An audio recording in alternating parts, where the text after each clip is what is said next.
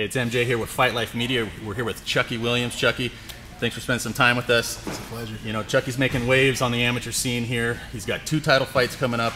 He's 5 0 as an amateur. He's currently training here at uh, ATF. Yes, yes, uh, so shout outs to ATF. Great training facility here. If you're looking for a good gym, come check it out. Chucky's also doing some coaching. Uh, so just to kind of introduce, you know, you to the, the MMA community, Chucky. Um, tell us a little bit about your background, maybe in sports, and then uh, we'll kind of start from there. So, did you play any high school sports? Uh, I definitely did. Um, I played football and basketball. Basketball definitely being my forte, but I was probably about only about 200 pounds at that time. Okay. So I was a lot leaner. Uh-huh. I ran a 4.340 at the time. So Wow. so at that time, I you know I was very lean and things like that. But um, I haven't really played any uh, collegiate sports since since high school, athletic sports since that. But um, Okay.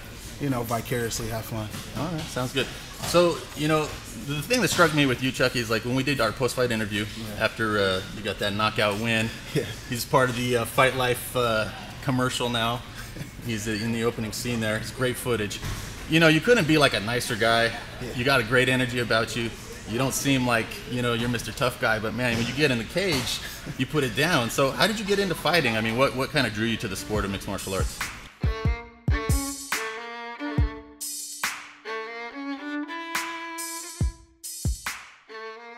Well, I didn't learn about mixed martial arts until my little brother was doing uh, Muay Thai, and uh, he was training with Sean Yarborough. Mm-hmm. Okay. And um, I was still going to school. Matter of fact, I was in radiology school at the time, so I really didn't.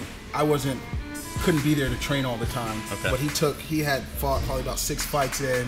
Um, his second fight was a title fight. He has six belts total Wow.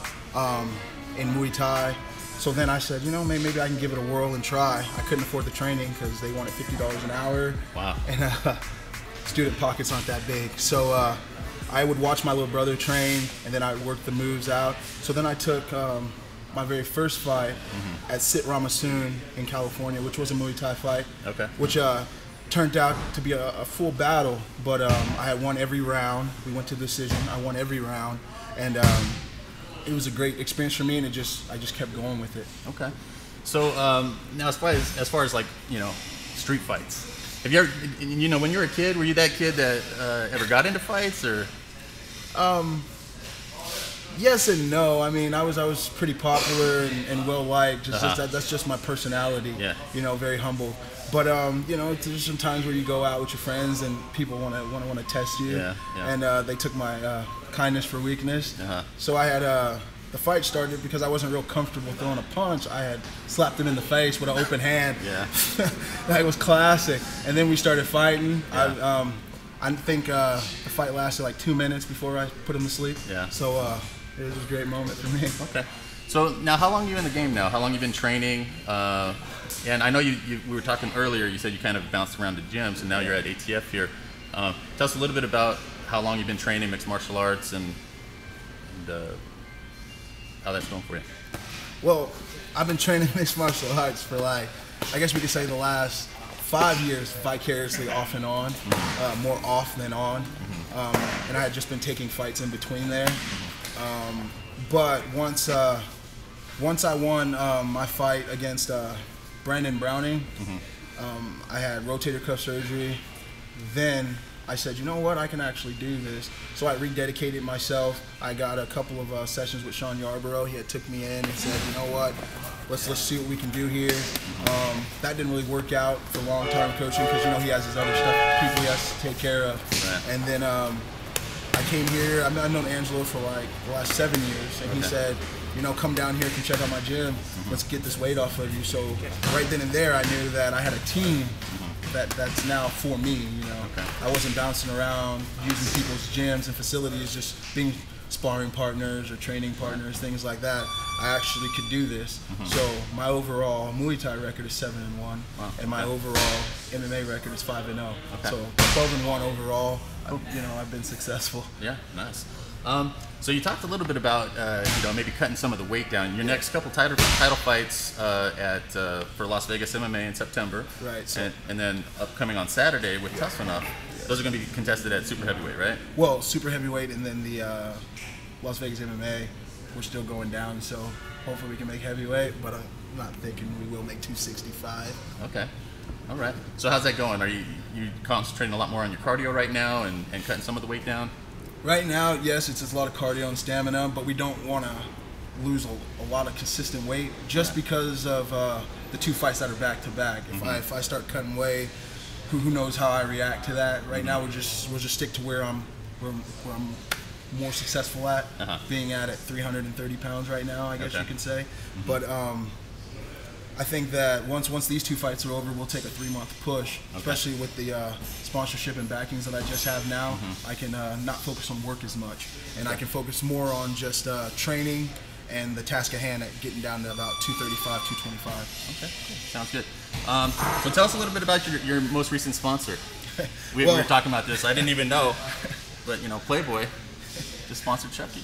So yeah. shout out to Playboy. Yes, I like the priests to thank them a lot because uh, they really did go out on a limb with me. Mm-hmm. Um, I've been talking with them for about a year and a half now, and they had said, you know, well, we, we might do this, we might not, and then uh, this last sit downs after I had just won this last fight in 35 second knockout. Mm-hmm. Um, they said, let's do it. Let's give you full sponsorship.